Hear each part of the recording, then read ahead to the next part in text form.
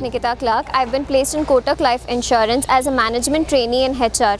Coming to my experience, I would like to say that it was definitely hectic as HR being a difficult industry to get placed in, the college still managed to get a couple of good companies and having missed those, Kotak was a do or die option for me. Coming to my preparation, I would like to say various events, to be more specific, the NHRD Swayamvar event did help offer me a great exposure to the current market scenarios. The pre-placement training offered by the college was of great help, but my personal uh, favorite was the interview impressions uh, workshop that was organized by Ms. Shweta Rajput, which helped me know what the company actually needed from a candidate and how to make a first good impression inside the interview room.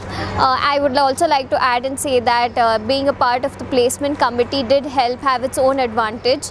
Uh, you get to meet the HRs for the first time before the rest and also make a good impression before anybody else get a chance. You.